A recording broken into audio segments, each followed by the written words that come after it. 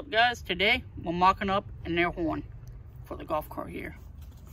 Hopped on the old interweb and got a air horn for the golf cart.